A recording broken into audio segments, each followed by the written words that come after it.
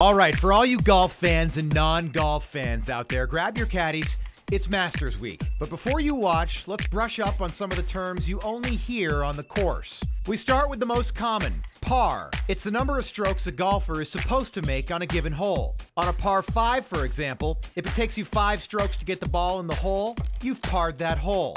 Next up, one you don't really hear it's albatross, not the bird. It's the term for a score of 3 under par. It really never happens, but before you ask, 2 under par is an eagle and 1 under par is a birdie.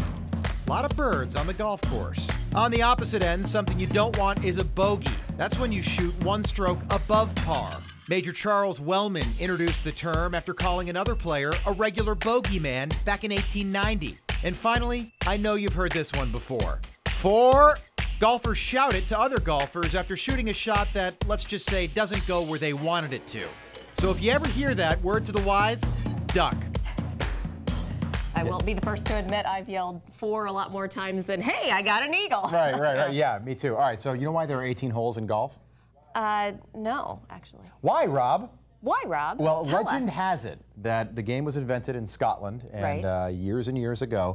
And when they first played their very first round of golf, they had a bottle of Scottish whiskey with them. Okay. And when the bottle was done, 18 shots later, the round was over. Oh, that's How about that? fact. Makes perfect sense, too.